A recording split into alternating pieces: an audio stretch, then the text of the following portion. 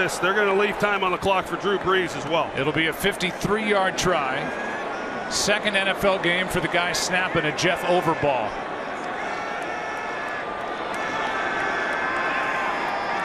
This for the lead. Forbath. He got it.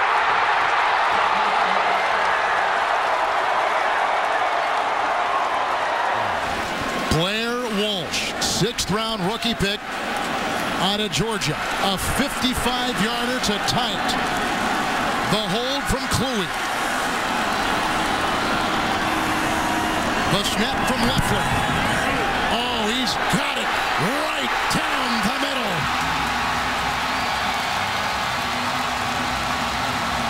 Now feel good about themselves getting to the wild card next week. Well, this is where we're at. If Longwell makes the field goal, this place will erupt. Yes. Uh, Because it doesn't matter what happens in Houston. But if he doesn't make the field goal and the Giants end up winning the game, they're just going to have to hold their breath for another minute and a half with a big lead for the Texans. So here it is. Can't stop the clock anymore. It'll be a 50-yard field goal. And here is Ryan Longwell's kick to try to win it for the Vikings. And the kick is good. The Vikings have won it and clinch the division championship. Final score 20 to 19 over the Giants. Right now, let's go to Kurt Menefee in our studios in LA. But but but here's the thing. So this week he goes out to practice and Tice says, "Stop, stop, stop! Everybody come up here." I have a leaked memo from the commissioner that says it's okay for Edinger to make field goals this week. Well, And Edinger just started laughing and it took all the pressure off him, and he had a great week. They need him to make one here. A 56-yard attempt. It's on the way. Does it have the distance? It's good. It's good. The Vikings win.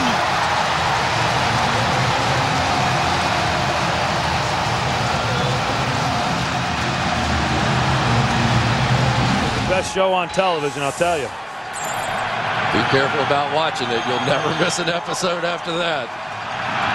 Anderson drills it. Is it long enough? It is. Just got over the crossbar. And just like that, it's 17 to nothing. And Mike Tice, it looked like he was fighting back a smile. allowing Culpepper to escape and throw it away. Aaron Elling will try a 47-yard field goal.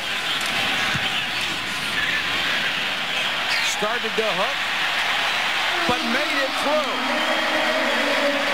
Boy, that just hung on the post. And really, from our angle, that looked like it didn't make it. Nothing's automatic in this game. Three things have to happen. It's got to be a perfect snap, a perfect hold, and then the kick has to happen. It'll be a 23-yard attempt from the right hash from Gary Anderson. Four seconds left. It's do or die. And he does. There's one second left. Are stunned by the turn of events. It looked for all the world like they had this game in their back pocket. And Randall Cunningham has survived all the mistakes. Murray for the game winner.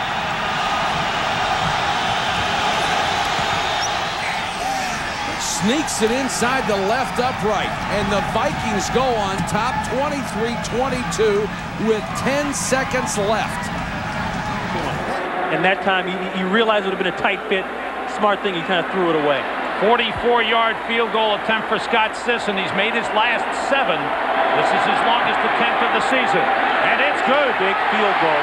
That is a huge one. Scott That is a Sisson has not field goal. missed in the fourth quarter in his NFL career. He's 10 for 10 in fourth quarter field goals. open. It's almost as if he came off the sidelines. The Packers never saw him. Makes the catch, gets out of bounds, and here comes Reveiz for the game winner. One of three rookie free agents who made the team this year. Eric Guliford from 45. Fuad Reveiz has kicked it home.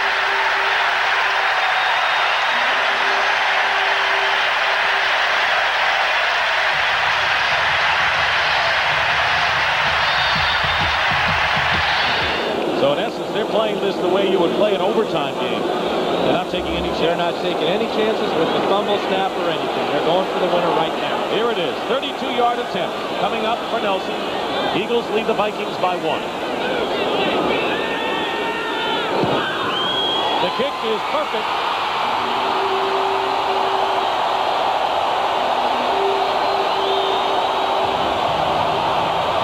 Incomplete, almost interception, but it's still fourth down. Andy Hawkins, 59, the man who made the play. He batted the ball loose, so we'll do it again. Same spot, far hash mark. Steve Dils, snap, spot, kick. Is good. Look at the entire team. From 42 yards out, Benny Ricardo has won it for the Minnesota Vikings, 19 to 16. In overtime, a dramatic win after a fake field goal try on third down. Benny Ricardo kicks it from 42 on fourth down. You believe it? Comes down the last seconds of the last two games. Well, he's got his head set off. He's a little bit more, uh, he's working a little bit harder on that gum. Boy, the pressure. There's, There's Don Don. Coryell. Yeah. He's, uh, This is it. yeah, sure is.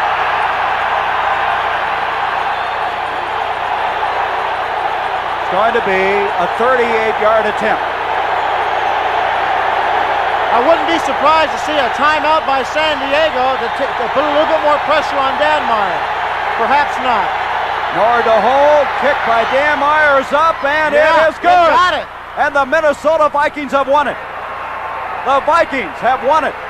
A remarkable victory by the Vikings, who have won their fourth in a row.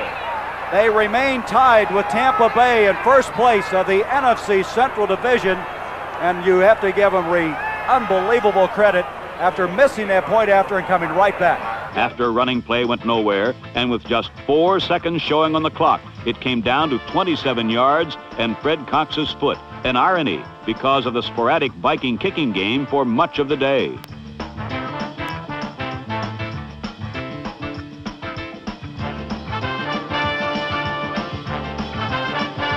For Minnesota, it was a sweet fourth straight victory to remain unbeaten. For Dallas, a bitter heartbreaker and an unprecedented third straight loss.